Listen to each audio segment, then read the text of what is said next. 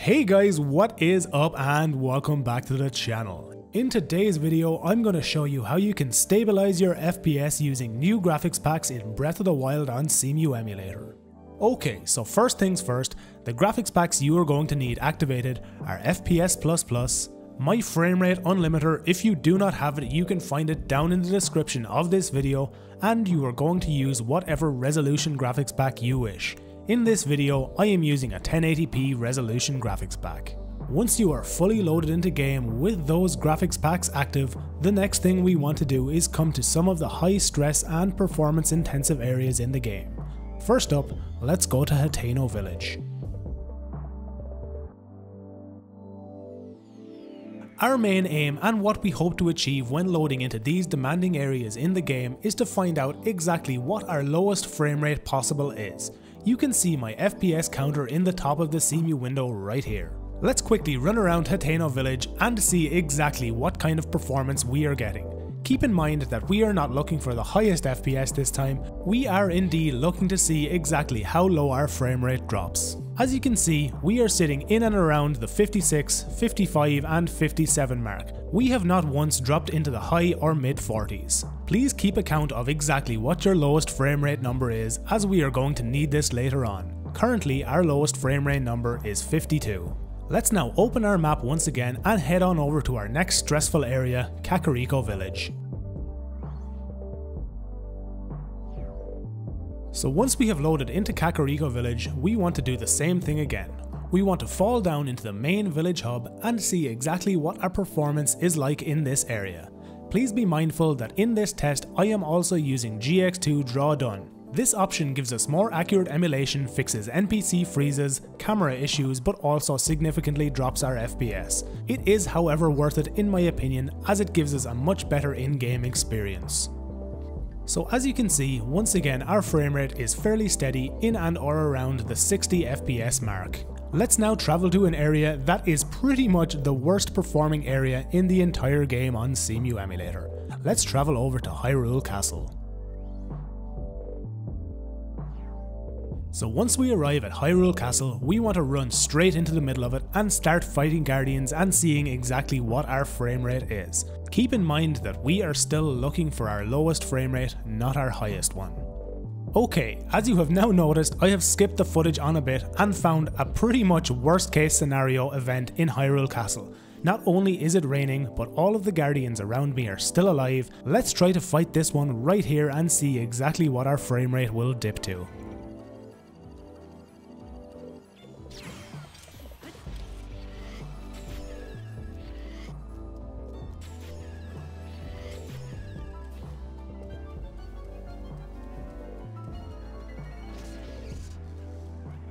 So as you can see, our frame rate right at the end of that battle dipped down to 48 FPS.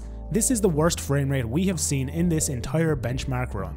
Let's continue into the centre of the Hyrule Castle area, fight some more guardians and see if our frame rate is going to dip any lower than the 48 FPS we have already seen. Let's fight this guardian right here.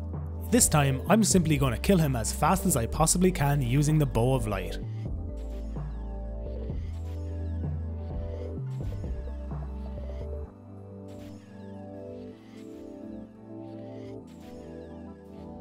So there you go, we kill this final guardian, let's wait for his death scene and see if it drops. Once again, you can see that we drop down to between 44 and 48 FPS. This is basically the worst case scenario for my performance, let's remember those numbers for when we are choosing our static FPS packs next.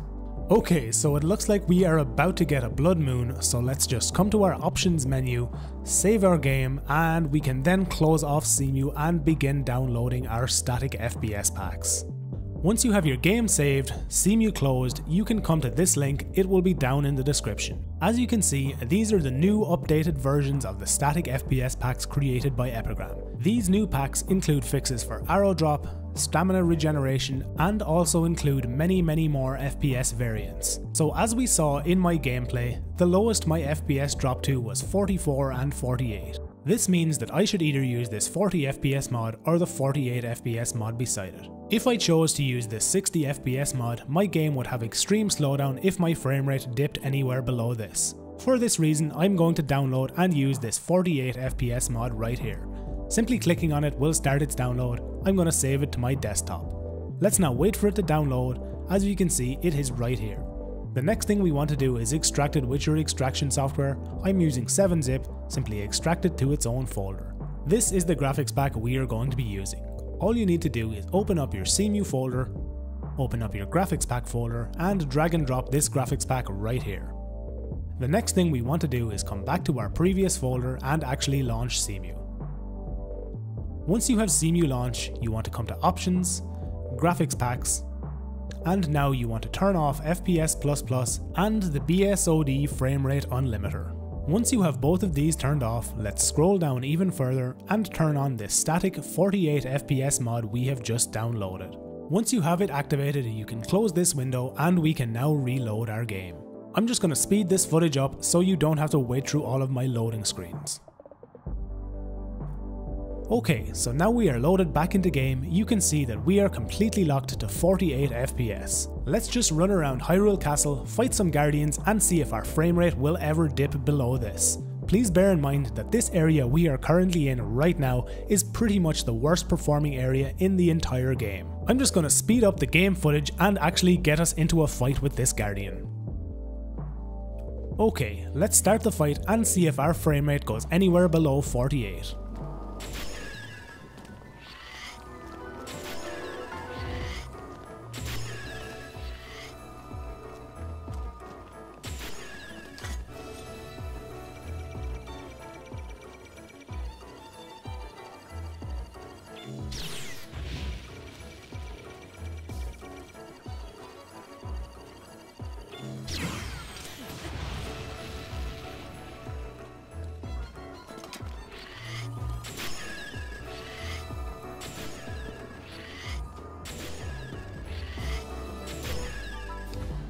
So as you saw throughout that entire fight, our framerate did not budge at all. It stayed completely locked to 48 FPS. Let's travel back once again to Kakariko Village and see what our performance is like there.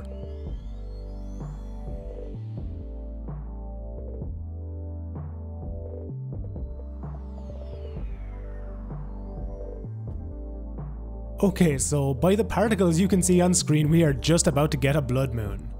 And there we go, perfect timing, let's just skip this cutscene.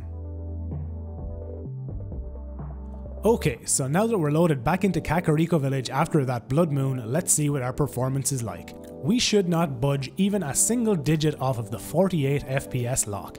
The game itself feels absolutely buttery smooth and this is in fact the way that I play Breath of the Wild even though I could potentially have higher frame rates 85% of the time if I used FPS++. However, the bugs that come with the use of FPS++ including arrows dropping way too soon, stamina regenerating way too fast, and the character shudder that can be seen when using the paraglider or indeed when just running around in the main world make the use of these static FPS packs much more viable since they do not have those problems.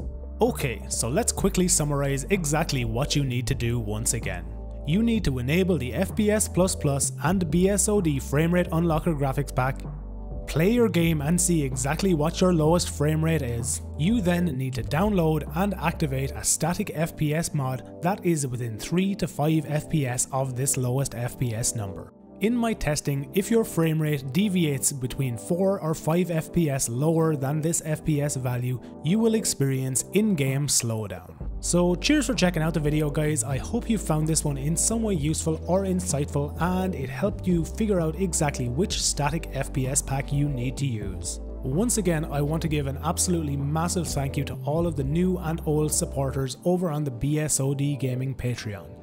If you wish to help support the channel in any way, get your name featured on this list as well as access to the exclusive Patreon chat channels over on the BSOD Gaming Discord, you can find links to both of these down in this video's description. So as always guys, cheers for checking out the video, remember to like it if you liked it, dislike it if you didn't, and subscribe to the channel if you want to see all future videos from me.